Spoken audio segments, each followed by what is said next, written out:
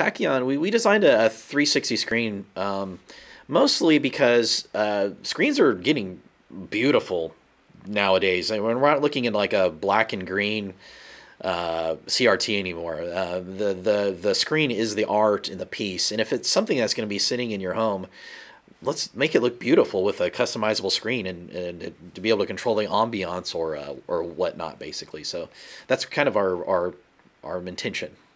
Yes, and, and, and also if you think about it, that even when you are not actively uh, interacting with the device, depending on who is in the room and what is your mood is, at some point Septaer becomes a fish tank, at some point it becomes a fireplace, or mm-hmm. it's at some point it can become a uh, sunset on a beach. So, so and that fits with our philosophy in a sense of happy robot or happy devices for home. So.